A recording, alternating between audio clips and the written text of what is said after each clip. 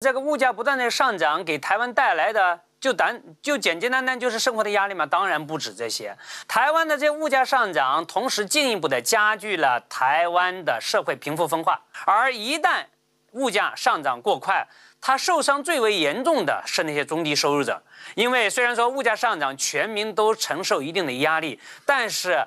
中高收入者，他往往他具有一定的抗压能力，他涨这点物价，他能够用他的收入来进行弥补。而那些长期以来面临高失业率、薪资停滞的中低收入者，他面临的生活压力就非非常大了。这个在薪资不涨的一种情况之下，就会造成一种贫解。贫者愈贫，富者愈富的这一种状况。当然，这个问题背后反映的是民进党长期以来缺乏这个治理能力。因为我们过去讲，民进党它是一个选举型的一个政党，它擅长选举，擅长文宣操作，但是它缺乏治理的一个能力。这一波面对不断上涨的一个物价压力，民进党始终拿不出解决问题的一个办法。这种执政能力的一个缺失，我想未来随着时间的推移，一定会在台湾的民意当中找到一个宣泄口。这个宣泄口有可能是二零二二年的九合一选举，也有可能是二零二四年的一个台湾地区大选。